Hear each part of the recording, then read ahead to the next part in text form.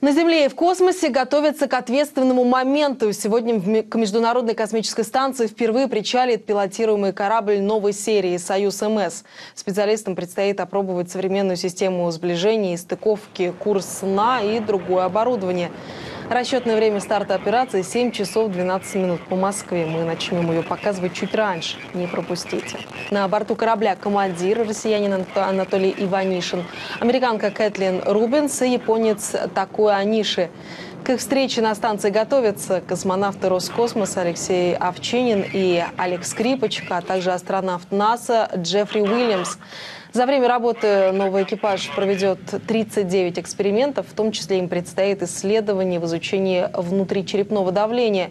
На основе полученных результатов ученые рассчитывают разработать эффективные э, методы лечения этого распространенного заболевания. Экспедиция продлится 115 суток.